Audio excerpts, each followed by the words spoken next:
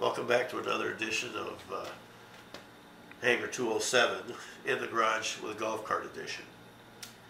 Um, if you guys see the first video where we pulled the engine out and the axle and took the engine apart, I'm not going to put a link up here because I have no idea how.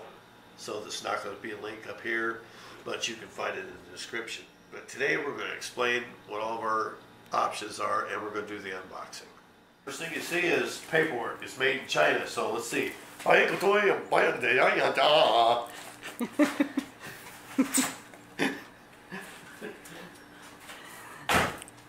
All right. This will make a good motor mount.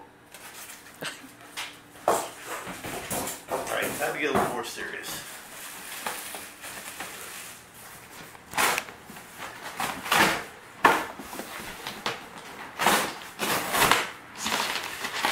I'm so excited.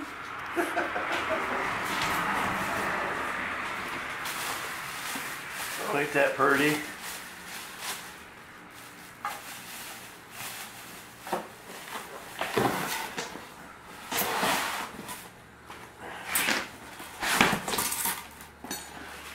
Wow, they gave us a spark plug wrench. That's freaking cool looking. Yeah, it is. Too bad it's gonna be underneath and you can't see it. Yeah.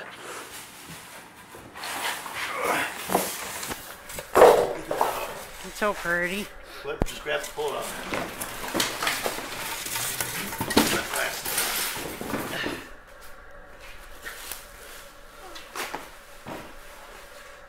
Alright. Now I officially have a hernia. I'm good to go. okay, go ahead and stop. Now it's planning out what we're going to do. The problems that come up with this is the gas tank, the carburetor, the exhaust, this electrical box, and the shaft. But first, let's just, now this right here, as far as I measured it, should be able to fit into the golf cart like it is. And not, and it should clear the seat, but it's not ideal because one, this gas tank's small. The exhaust is right underneath your butt, so the passenger's gonna get a little bit hot butted. It's better to use the gas tank that's in the golf cart. But in order to do so, we have to put a vacuum pulse somewhere in the engine to where it'll run the fuel pump. Or I might get one of those electric clickety clack ones. I, I don't know yet. That's the decision. That's the option. A clickety clack fuel pump, or put a hole in the block somewhere and tap it and put a vent in it to where it runs the fuel pump. That's a problem we have to solve. The exhaust. The exhaust can't be underneath the seat, so it needs to run out the back. Uh, so a, a header will have to be made. That's another problem that you have that I have to do. I have to figure out how to run the exhaust. You can't really do that until you get it in there. You can come up with an idea, but you can't really do anything until you get in there. Because you don't want to run the pipe to where it's underneath your butt again, or you know you can wrap it. There's there's options with that, and we'll go over those. The clutch. Here's a big problem. The clutch takes a tapered shaft like this. All right, this is not a tapered shaft. This is a straight long shaft. So the options that I have with this is I could buy a new pump, or, uh, clutch and put that on there. That's another hundred or so dollars. Now this clutch is brand new. The guy had it for a very short period of time before because he thought the clutch was the reason why it didn't work good. So this clutch is brand basically brand new. So is the secondary. And uh, this is the secondary. So I don't want to buy another clutch. So what you do, there's this kit, just a taper kit. This, this thing slides on here. You drill and tap the center, and you cut that off. A brand new engine, and you cut the shaft off. That just excites everybody. Just- So I'll be cutting that off. Put, I already ordered the adapter sleeve It's not in yet. When it's in, I'll show it to you. And then put the clutch on.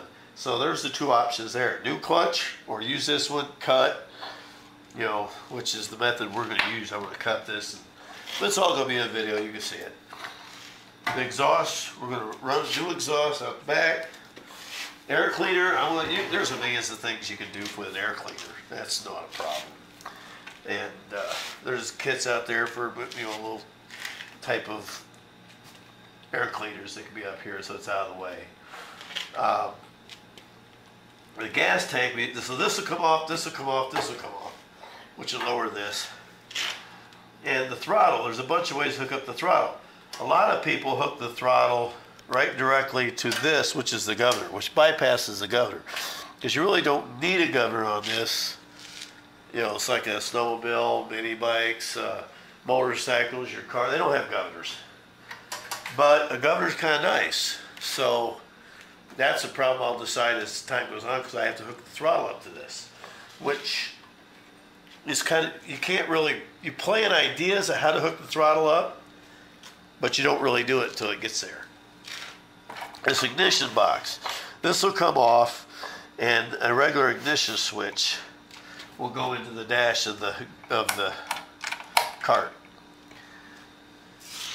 So that's basically that. This is our engine, 1800 or 18 uh, horsepower. It weighs about the same as that one too. It's a little lighter. But those are the problems we have. And uh, I know I, have I've heard a lot of people say that I wish I could do that. I wish I could have the skills, the knowledge, and the tools to be able to do the project that we're doing. And you can. You can. I disagree that people say they can't. Tools, there's Harbor Freight. You you don't have to buy the most super expensive tools, but you can buy tools. And I'm sure you know people that has a tool where you can take a the plate over to their house and they have a drill press they can drill the holes for you.